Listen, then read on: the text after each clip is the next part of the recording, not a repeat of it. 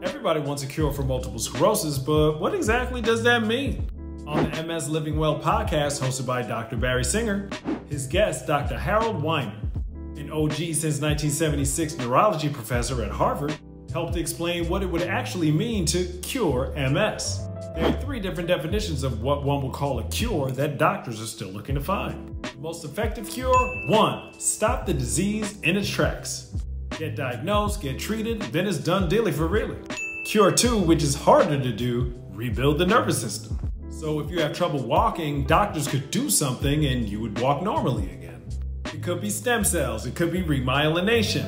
And science is still far off from that. Cure three is prevent the disease. Dr. Weiner says that's how we cured polio, but that will require mass vaccination for viruses.